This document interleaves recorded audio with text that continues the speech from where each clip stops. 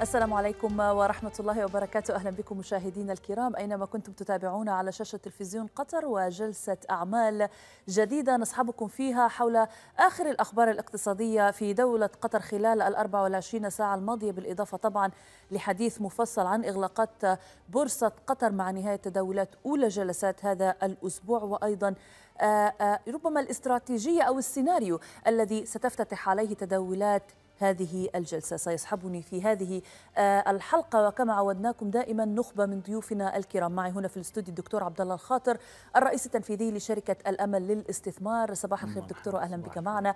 ومباشرة من مقر بورصة قطر معنا السيد عمر القضاء صحفي بجريدة لوسيل القطرية. أهلا بك معنا. سيد عمر ومعي أيضا وينضم إلى ضيوفنا عبر سكايب من باريس السيد ناصر زهير مستشار الاقتصاد السياسي والعلاقات الدولية الدولية في مركز جنيف للدراسات. أهلا بك معنا سيد ناصر. إذا بداية مشاهدينا الكرام دعونا نذكركم بإغلاقات المؤشر العام لبورصة قطر مع أولى جلسات الأسبوع والذي أنهي الجلسة في المنطقة الحمراء ولكن بتراجعات محدودة. سجل المؤشر إغلاقا عند مستوى 10200 ونقطتين تقريبا مع تداولات شملت نحو 225 مليون سهم. فيما بلغت قيم التداولات بنهاية الجلسة نحو 420 مليون ريال. على الرغم من تراجع المؤشر إلى أن الجانب الأكبر من الأسهم حقيقة سجل ارتفاعا بنهاية الجلسة إجمالي الشركات المرتفعة وصل إلى 27 شركة على رأسها مزايا المرتفع بنحو 7% عقب إعلان الشركة عن مشروعها الجديد مارينا بلازا في مدينة لوسيل بقيمة 600 مليون ريال. حل سهم دلالة في المرتبة الثانية بنسبة فاقت 6% ارتفاعات ومن ثم قطر للتأمين بنسبة 5% تصدر سهم مزايا قائمة السيولة بقيمة 118 مليون ريال. تلا في ذلك قطر للتأمين بنحو 38 مليون ريال ومن ثم المصرف الإسلامي بقيمة 21 مليون ريال. بداية معك دكتور عبد الله بعد مكاسب قوية مع نهاية تداولات الأسبوع الماضي جلسة الأمس جاءت معها عمليات تصحيح للمسار تقلص معها جزء من المكاسب التي أنهينا عليها جلسة الخميس الماضي وإن كانت تراجعات هامشية. عشر النقطة تقريبا نتحدث. أولا كيف ترى قدرة المؤشر على المحافظة على مستويات العشرة ألاف نقطة وإمكانية اختراق تلك المستويات بارتفاعات جديدة وإلى متى ستظل التحركات هادئة على صعيد تداولات الجلسة. طبعا خاصة بالنسبة لأداء المؤشر خلال الأسبوع الماضي وبداية راح نبدأ نرى المؤشر في هذا الأسبوع كانت الحقيقة قوية لأنه استطاع أن يخترق العشرة ألاف اللي عادة ما كان يأخذ وقت الحقيقة في محاولات الاختراق اخترقها بسرعة ووصل ل 10200 أيضا. بشكل بالمقارنة سريع ودليل على أنه هناك أيضا ما زال فيه قوة داعمة بالنسبة لأيضا حراك المؤشر مستقبلا. طبعا هناك أنباء بشكل عام بالنسبة للوباء وغيره على المستوى العالمي. في الداخل ما زال هناك سيطرة على التفشي بشكل يعتبر ممتاز في الفترة هذه. ولذلك في الداخل هناك يعني حجم من التفاؤل قد يفوق التفاؤل على المستوى العالمي.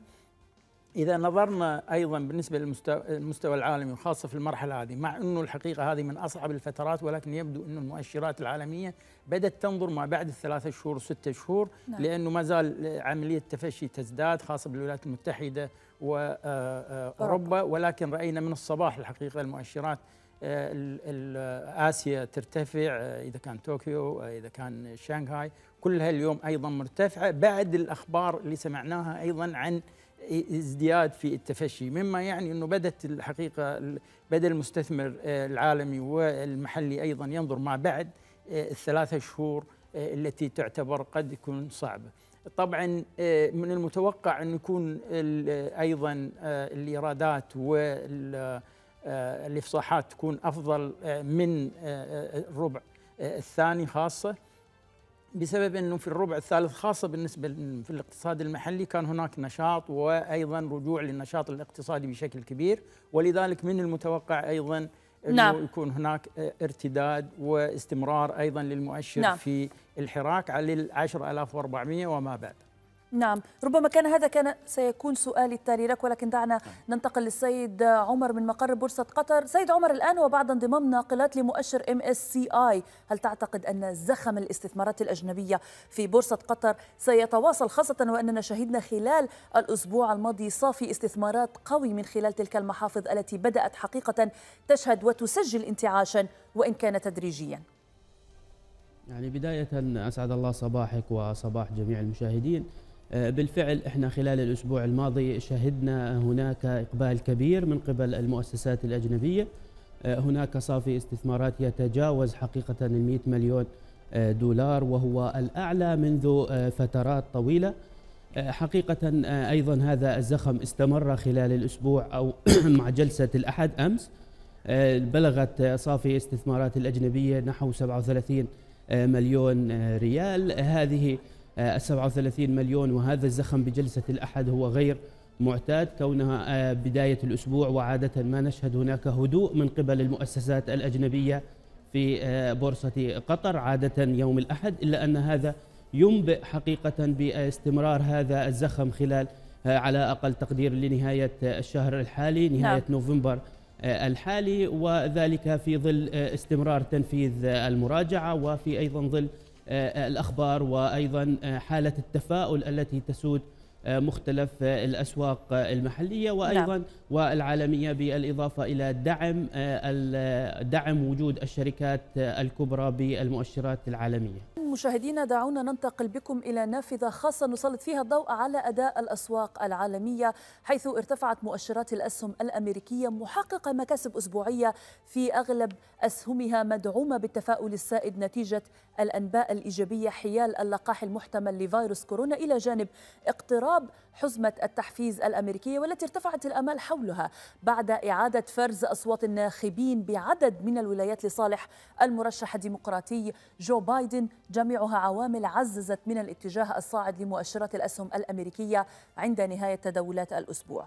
ارتفع مؤشر داو جونز بنحو 1.5% ليسجل مكاسب تزيد عن 4% كما ارتفع مؤشر ستاندرد أند بورز 500 ليسجل مكاسب تقارب من الأربعة في المئة كما ساهمت نتائج الأعمال الإيجابية في انتعاش أسهم شركات التكنولوجيا لتقلص خسائر مؤشر ناسداك الأسبوعية بما يقارب من نصف في المئة. للحديث حول أداء الأسواق العالمية. دعونا أولا نتحدث عن سوق النفط آه، والذي شهد أيضا انخفاضا آه، متأثر بزيادة الإنتاج الليبي بفعل مخاوف من تصاعد وتيرة الإصابات بفيروس كورونا. أيضا وربما يبطئ آه، من التعافي الاقتصادي العالمي والطلب على النفط. عند التسوية انخفض خام برنت 86 سنت أي نحو 2 في المئة لتجري تسويته عند 42 دولار و78 سنت للبرميل كما انخفضت العقود الآجلة للخام الأمريكي غرب تكساس الوسيط 99 سنت أي 2 و14 في المئة لتنهي الجلسة عند مستويات 40 دولار و13 سنتا للبرميل فيما حقق كلاهما زيادة بحوالي 8% على مدار آه، أسبوع. للحديث حول أداء آه، أسواق المال والطاقة عالميا آه، نستضيف معنا سيد ناصر زهير مستشار الاقتصاد آه، السياسي والعلاقات الدولية في مركز جنيف للدراسات والذي ينضم إلينا من باريس عبر سكايب. سيد ناصر أهلا بك معنا. مع تسجيل أكثر من مليون حالة إصابة جديدة خلال أسبوع واحد بالولايات المتحدة في نفس الوقت هناك مؤشرات إيجابية متعلقة بحسم نتائج الانتخابات الأمريكية وإقرار حزمة التحفيز الاقتصادي بين كل هذه العوامل والمؤثرات. كيف يمكن أن نقرأ مستقبل أداء الأسواق الأمريكية التي دائما ما تلقي بظلالها على أداء باقي الأسواق سواء كانت العالمية أو المحلية؟ نعم تحياتي لك ولفريق العمل والضيوف والمشاهدين. يعني يمكن أن نقرأ مستقبل أسواق الأسهم الأمريكية بأنها ستكون إيجابية نوعا ما في فترة قصيرة يعني في دعينا نقول من ستة إلى ثمانية أسابيع لأن يكون هناك آليات لتبلور خطة بايدن الاقتصادية القادمة ولكن في ظل المؤشرات الحالية الأسواق انتعشت بفعل فوز بايدن بفعل اللقاح اكتشاف لقاح فايزر ولكن أيضا هناك كثير من التحديات الاقتصادية التي ستضرب الأسواق الأمريكية بالخصوص في الفترة القادمة. نعم. اولا عند وصول بايدن سيكون هناك تغيير للبوصلة الاقتصادية للولايات المتحدة سواء كان داخليا أو خارجيا، أيضا سيكون بايدن أمام امتحانات سواء كان بما يتعلق باداره الحرب التجارية مع الصين أو اليات اتخاذ اليات التحفيز الاقتصادي هناك إيجابيات وسلبيات. لكن أعتقد بأن التحديات ستكون أكبر المخاوف ستكون أكبر نوعا ما. وأيضا آلية تفشي فيروس كورونا الآن في الولايات المتحدة حتى مع اكتشاف اللقاح لكن هناك تفشي بأعداد هائلة جدا. ربما بايدن أيضا يؤيد الإغلاق أو إغلاق إلى حين توزيع اللقاح وهذا ما يعارضه ترامب في الوقت الحالي. كل ذلك يقودنا إلى أن هناك انخفاض قادم في وإن كان محدود. نعم. ولكن بعد ثماني ستة إلى ثمانية أسابيع سيكون هناك آليات لامتحان حقيقة السياسات بايدن الاقتصادية وسيكون هناك تغيير في هذه السياسات. وأكثر ما يخشى الاقتصاد هو الضبابية السياسية والاقتصادية بالتالي سنشهد بعض الانخفاض في البلد نعم. سؤالي الآخر ربما نتحدث فيه عن النفط. ماذا عن توقعاتك لأداء النفط خلال الفترة القادمة وأدائه السعري تحديدا مع نهاية العام الجاري الآن على الرغم من تحقيق مكاسب أسبوعية جيدة. لكن هل يمكن أن نرى مستويات أعلى من 50 دولار للبرميل قريبا أم أن الأسعار ستظل حبيسة لهذه المستويات الحالية خاصة مع وجود عوامل تعتبر ربما ضاغطة على أداء النفط خلال الفترة القادمة؟ نتحدث عن الزيادات في الإنتاجات الليبية. نتحدث أيضا عن الإنتاج العراقي الليبي و عدم وضوح منظمة أوبك حول تحديد السعر مع رغبتها في تخفيض الإنتاج. هناك عدة عوامل تحكم أسعار النفط ولكن أعتقد بأنها ستدور في فلك ال 40 إلى 45 دولار ربما نعم. نشهدها في مستويات 35 ولكن أن تعود الأسواق لمستويات 55 و 60 دولار هذا يمكن أن يحدث إذا ما كان هناك توترات سياسية. يعني يمكن لترامب أن يتخذ بعض الخطوات التي توتر المنطقة هنا قد نشهد ارتفاعات مؤقتة لكن في مجمل ما بين الطلب والعرض العالمي الاسعار ستبقى في فلك ال 40 دولار لأن هناك كما تحدثتم أسواق أو دعينا نقول صادرات النفط الليبية العراقية. هناك أيضا تغيير في السياسات للولايات المتحدة. بايدن لا يدعم صناعة النفط الصخري على عكس ترامب لأنه ضغط الرفع أسعار النفط بما يتناسب مع الشركات الأمريكية. ربما يكون هناك آليات أخرى. ولكن ما بين أوبك وروسيا والدول الكبرى المصدرة للنفط يبدو بأن هناك قرار ما ابقاء الاسعار في فلك ال 40 دولار أيضا مع اكتشاف لقاح فيروس كورونا وعودة الاقتصاد إلى العمل سنشهد طلب على النفط خاصه عودة الرحلات الجوية المواصلات آليات العمل بالنسبة للمصانع بنسبة كاملة في الاتحاد الأوروبي وفي الدول الأخرى. كل هذا سيعزز لكن أيضا هناك عرض كبير سواء كان في الأسواق أو في تغير في عرض صادرات النفط لأنه سيكون هناك إما دعينا نقول ضغط على الصخر الأمريكي سياسات بايدن الجديدة وبالتالي يعني هناك تعزيز الأولى وأيضا هناك الطلب ولكن في الستة اشهر القادمة سنبقى ندور في فلك ال 40 إلى 45 دولار إلا إذا كان هناك تراث كما هنا قد نشهد ارتفاعات مؤقتة ستعود كما كانت الماضي ارتفاعات وثم نعود إلى مستويات 40 إلى 45 نعم. السيد ناصر زهير مستشار الاقتصاد السياسي والعلاقات الدولية في مركز جنيف للدراسات شكرا على هذه الإيضاحات. كنت معنا مباشرة من باريس عبر سكايب. شكرا جزيلا لك. مشاهدينا دعونا الآن نستعرض وإياكم مؤشر بورصة قطر وافتتاحاته لهذه الجلسة. المؤشر خلال هذه اللحظات يرتفع لمستويات العشرة ألاف ومئتين واثنتين وثلاثين نقطة ليضيف مكاسب بحوالي ثلث في المئة لرصيده مع مستويات تسعة ملايين ريال. خمسة ملايين سهم نشهد حركة هدوء على صعيد التداولات خلال هذه الجلسة. دعونا نستعرض وإياكم الشركات الأكثر ارتفاعا خلال هذه اللحظات. ملاحة تتصدر القائمة الخضراء مع ارتفاعات بثلاثة وثلث في المئة. يليها في ذلك البنك الخليجي مع اثنين وعشر في المئة ارتفاعات ومن ثم قطر وعمان بارتفاعات تجاوزت واحد وسبعة عشر نقطة. وأخيرا معنا شركة قطر للتأمين مع ارتفاعات بواحد وعشر في المئة.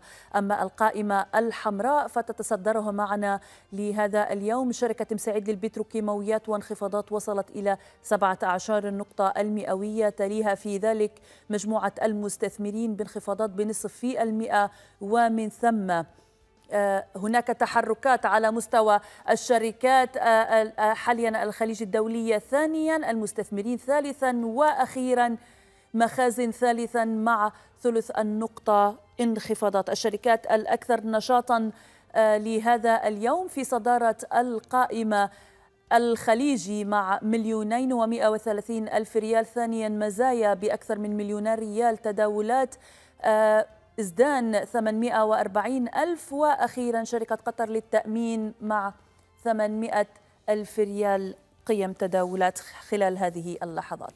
في خبر آخر وشأن آخر أعلنت قطر البترول أمس عن الانتهاء الناجح لعملية ضمها لأعمال شركة قطر لتسويق وتوزيع الكيماويات والبتروكيماويات منتجات. وبانتهاء هذه العملية ستواصل منتجات الوجود ككيان قانوني بينما ستتولى قطر البترول مهمة الوكيل التسويقي للشركة.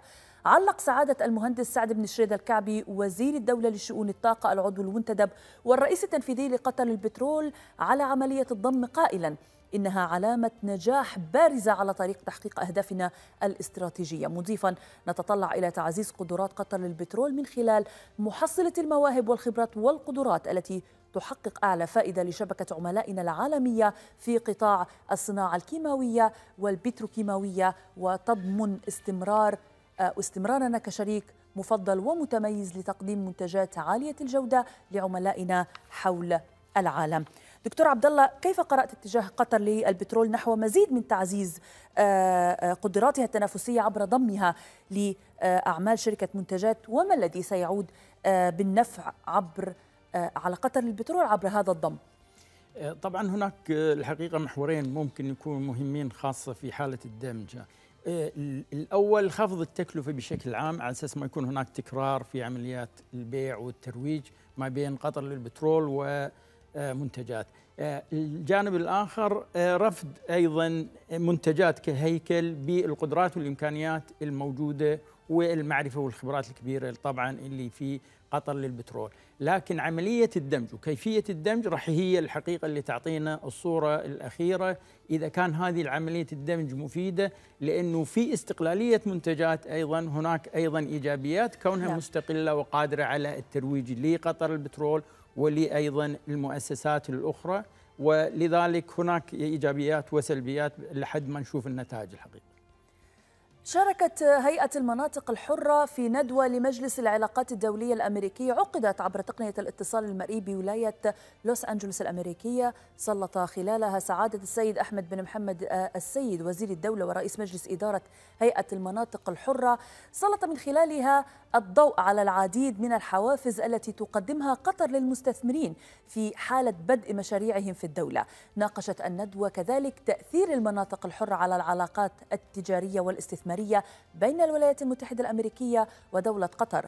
ودور دولة قطر في تحقيق التكامل الاقتصادي العالمي في القرن الحادي والعشرين بالإضافة إلى خطط التعافي من تداعيات وباء كوفيد 19 والتطورات الرئيسية التي شهدتها منظومة الأعمال الدولية للمناطق الحرة في قطر وتوفر آه، آه، المناطق الحرة في الدولة توفر مجموعة مهمة من المزايا الجاذبة للشركات المسجلة لديها والتي تسعى إلى التوسع إقليميا وعالميا بما في ذلك البنية التحتية والمرافق الحديثة والخدمات الاستثنائية والأيدي العاملة المدربة آه، والتملك الأجنبي بنسبة 100% بالإضافة إلى الاستفادة من صناديق الاستثمار والإعفاءات الضريبية بالإضافة أيضا إلى فرص الشراكة مع الشركات الكبرى المتواجدة في الدولة لتعظيم الاستفادة الإنتاجية بين الأطراف المعنية. دكتور عبد الله نعود إليك. العالم الآن يتكيف مع آه، تبعات وباء فيروس كورونا. نجد لقاءات على أعلى مستوى تعقد عبر تقنية آه، الاتصال المرئي. لكن لو تحدثنا عن مشاركة هيئة المناطق الحرة ضمن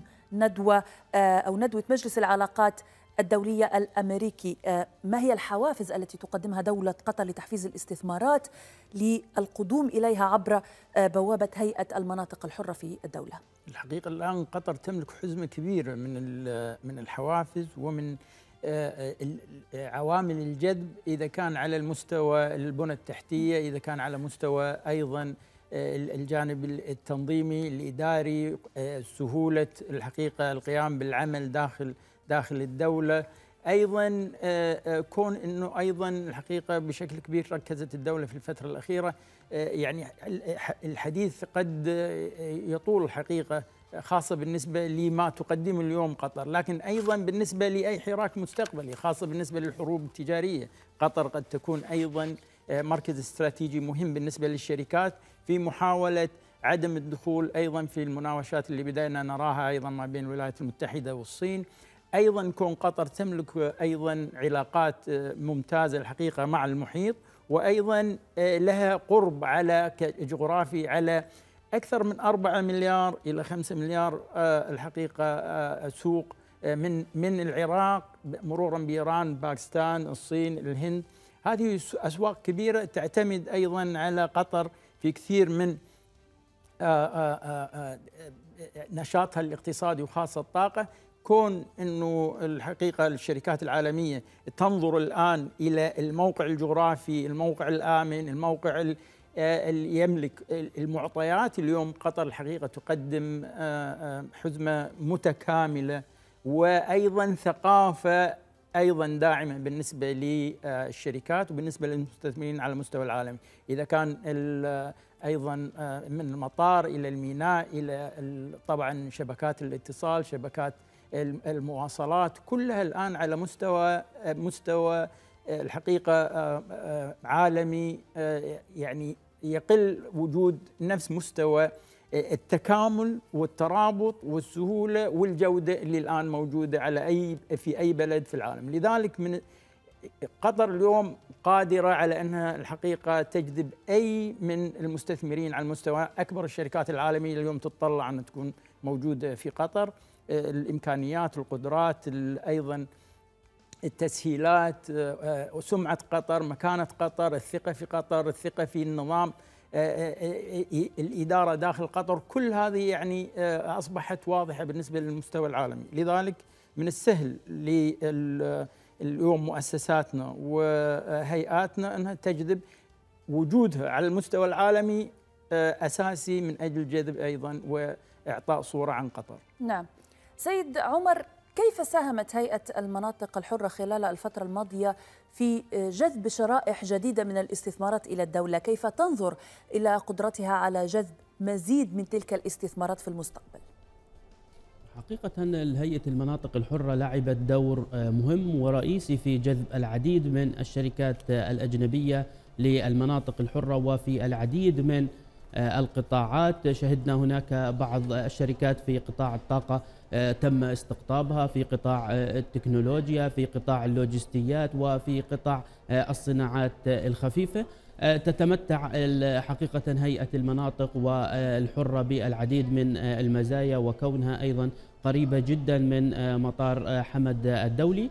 لعبت أيضا الهيئة دور كبير في استقطاب وفي الترويج للبيئة الاستثمارية في دولة قطر. تشير الأرقام اليوم إلى أن هيئة المناطق أو المناطق الحرة في دولة قطر تحتضن أكثر من 100 شركة أجنبية بمختلف القطاعات. خلال الفترة المقبلة وهذه ال 100 شركة تم استقطابها في الافتتاح التجريبي أو التشغيل التجريبي خلال السنوات الماضية. اليوم ومع اكتمال البنى التحتية في المناطق الحرة من المتوقع أن يكون هناك العديد من الاستقطابات. للشركات الأجنبية. شهدنا خلال الفترة الماضية وبالرغم من جائحة كورونا استطاعت الهيئة من المشاركة في العديد من المؤتمرات والندوات وبل أيضا تنظيم بعض الندوات وعبر تقنية الاتصال عن بعد في الاستمرار لعملها في الترويج البيئة التشريعية أو البيئة الاستثمارية في نعم. دولة قطر. ربما نشهد مع نهاية العام الحالي الإعلان عن المزيد من الاستثمارات والمزيد من الشركات الأجنبية التي ستدخل إلى المناطق الحرة. نعم.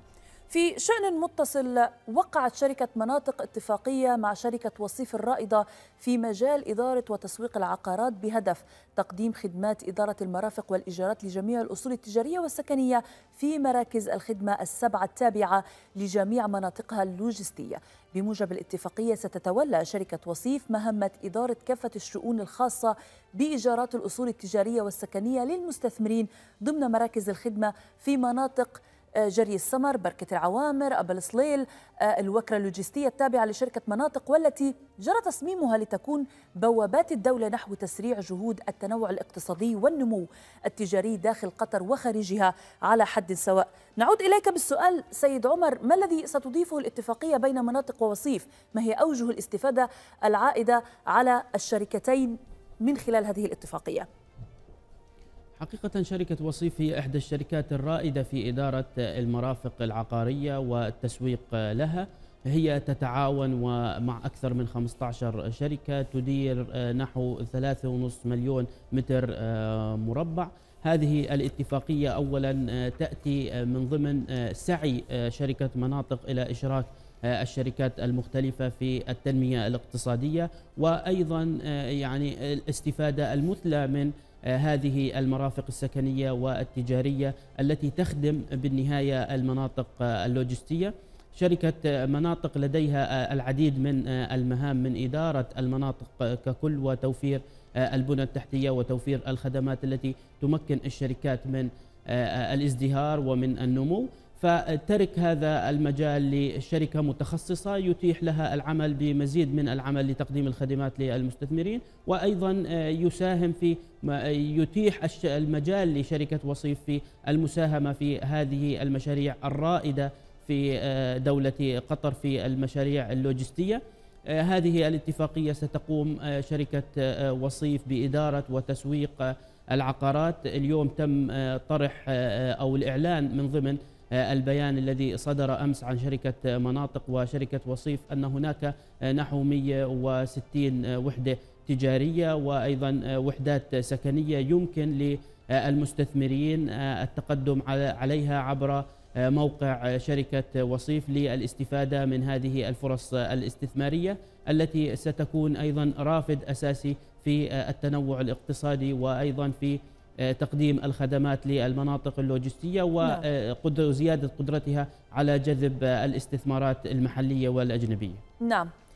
نظمت هيئة الرقابة الإدارية والشفافية بالتعاون مع وزارة التنمية الإدارية والعمل والشؤون الاجتماعية ممثلة في معهد الإدارة العامة. نظمت دورة تدريبية للتعريف بميثاق سلوك ونزاهة الموظفين العموميين. شارك في الدورة مديرو الموارد البشرية من الأمانة العامة لمجلس الوزراء والوزارات والهيئات الحكومية المختلفة. الدورة تهدف لتوعية الموظفين ببنود الميثاق وتعريفهم بالعقوبات القانونية في حالة مخالفة الموظف للميثاق والمعايير السلوكية التي يجب على الموظف العام أن يؤدي أعماله في ضوئها. قمت هذه الدورة التدريبية تحت عنوان التعريف من مبادئ ميثاق وسلوك نزاهة الموظفين العموميين الذي نظمتها هيئة الرقابة الإدارية والشفافية بالتعاون مع وزارة التنمية الإدارية.